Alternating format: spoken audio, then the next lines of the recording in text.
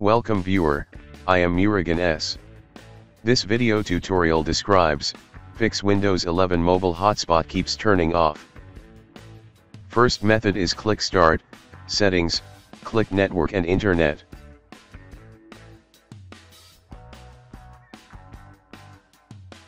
Click Mobile Hotspot, turn off power saving.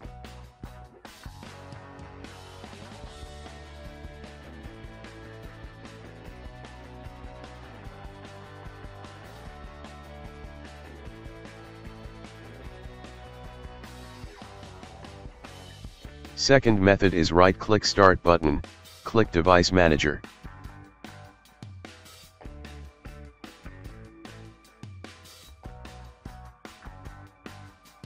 Click and expand network adapters, right-click Wi-Fi adapter, click Properties.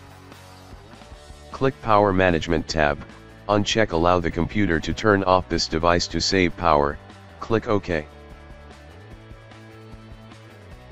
I hope this video tutorial helps to you, please like, share and don't forget to subscribe my channel, thank you very much, see you next video.